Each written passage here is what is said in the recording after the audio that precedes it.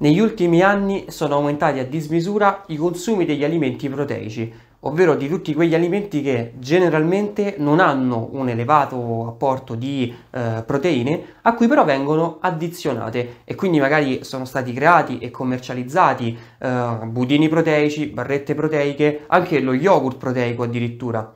E questi alimenti stanno riscuotendo un grandissimo successo. Purtroppo la stessa cosa non si, non si può dire invece di eh, altri alimenti tipici della dieta mediterranea come la frutta e la verdura.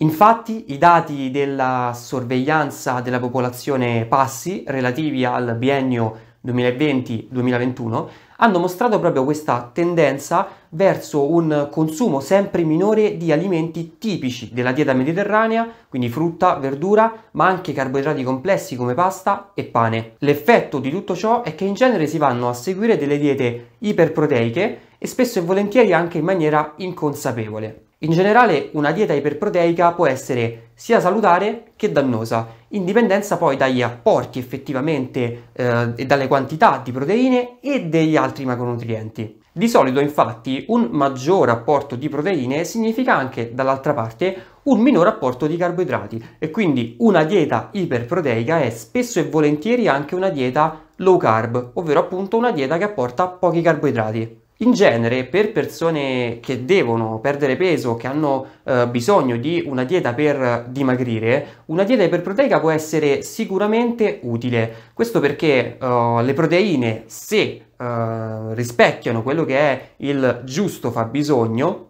consentono durante un percorso di dimagrimento di perdere minor massa muscolare possibile e questo è sicuramente un bene. Inoltre le proteine hanno anche un buon potere saziante, per cui per una persona che è a dieta, diciamo, per perdere peso, per dimagrire, questo significa una maggiore aderenza alla dietoterapia. Al contrario però una dieta iperproteica può essere anche dannosa o addirittura può portare a gravi danni alla salute. Infatti, soprattutto se si seguono diete iperproteiche per un periodo di tempo prolungato, i eh, problemi che possono incorrere sono diversi.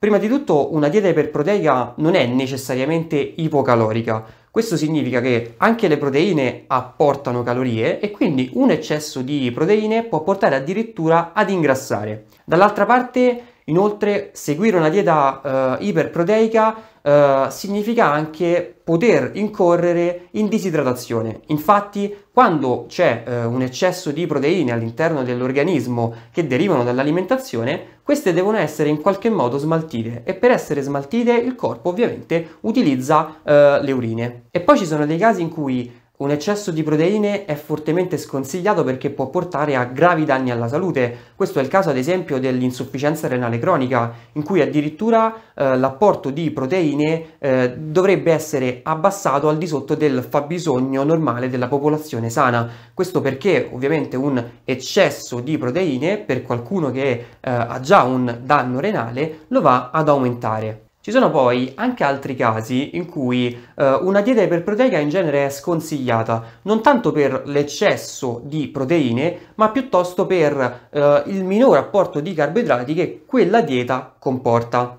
Infatti una dieta low carb è spesso e volentieri anche chetogenica e una dieta chetogenica non si addice assolutamente a particolari tipi di persone, ovvero persone affette da diabete di tipo 1, donne in gravidanza o eh, in allattamento e a persone che soffrono di particolari disturbi psichici e del comportamento alimentare. Il consiglio quindi è quello di seguire una dieta sana, ovvero una dieta che vada ad apportare il giusto quantitativo di tutti e tre i macronutrienti proteine, carboidrati e grassi.